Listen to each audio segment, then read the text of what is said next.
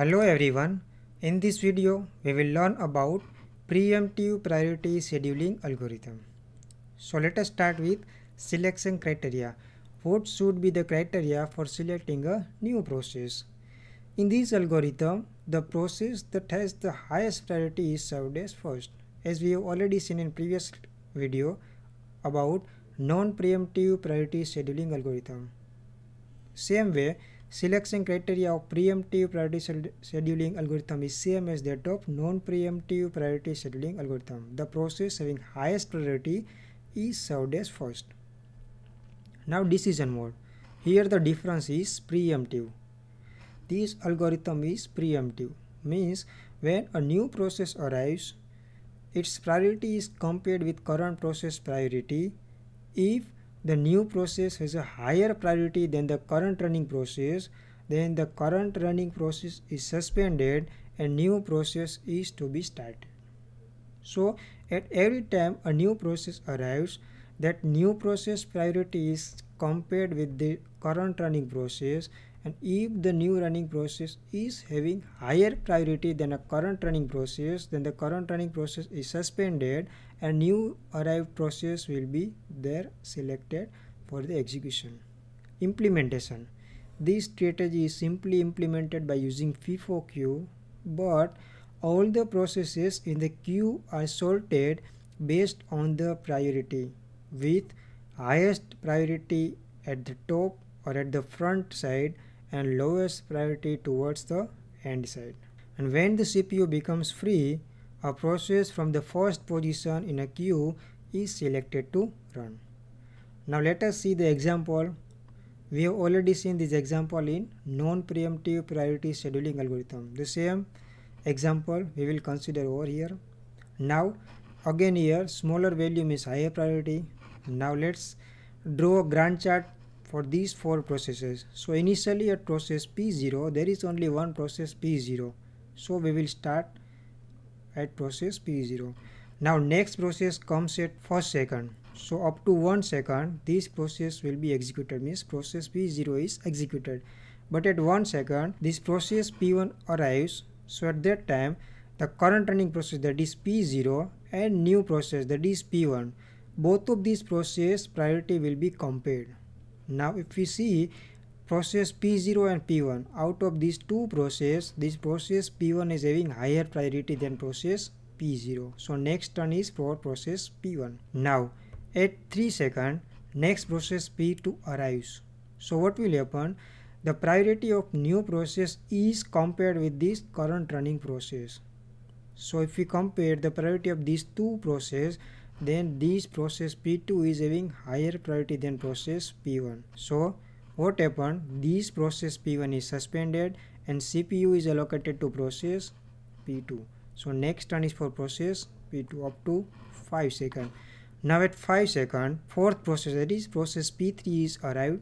So now it will compare the priority of these two process. Out of these two process, the priority of this process P3 is higher. But this process P2 requires only 2 millisecond and it already gets 2 milliseconds so this process p2 is over. So now next turn out of these three processes that are in queue p0 p1 and p3 this process p3 is having higher priority that is 0 so next turn is for process p3 so next turn is for process p3 now there isn't any new process that arrives in queue so this process p3 will require 4 milliseconds to complete its execution. So we'll get 4 millisecond that is 5 plus 4 that is 9 now only two process are there in queue p0 and p1 out of these two process p1 is having higher priority. So next turn for process p1 now process p1 requires 6 millisecond but out of 6 millisecond 2 millisecond is already executed over here.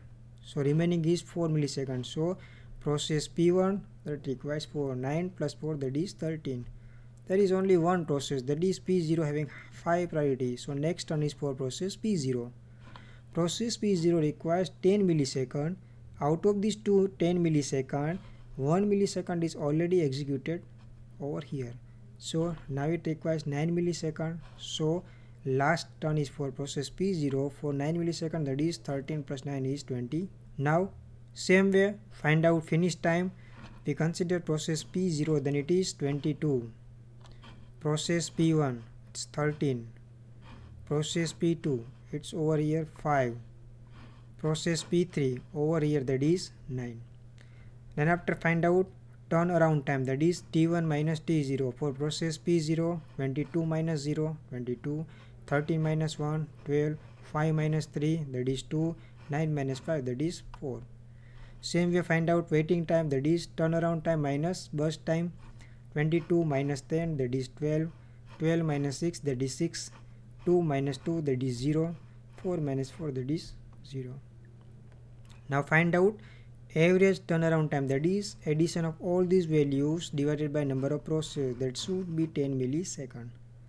Now average waiting time that is the sum of all these values divided by number of processes so it's all these value divided by number of processes that should be a 4.5 millisecond.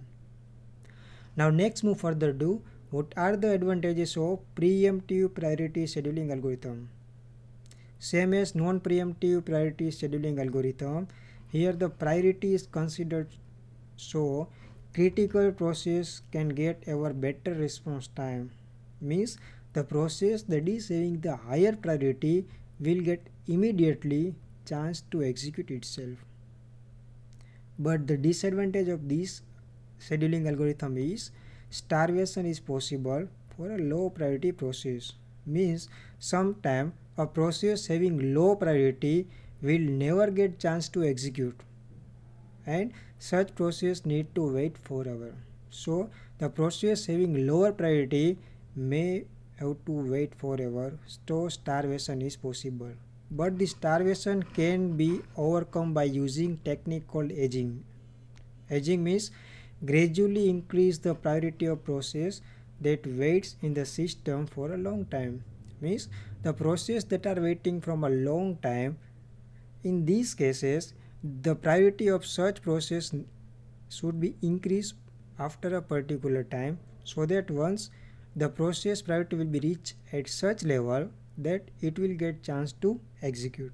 The most important is context switch overhead is there.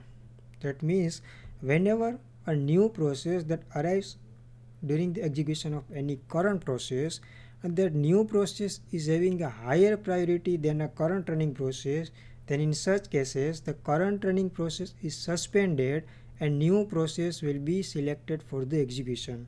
At that time the stopping of one process and selecting a new process that is context switch. In this context switch, its CPU takes some time and during that time CPU will do nothing. CPU will not perform any type of computing. That's why here context switch overhead is there in this algorithm. So it may be possible that your CPU remains idle during this context switch overhead. So these are the disadvantages of preemptive priority scheduling algorithm. Thank you very much.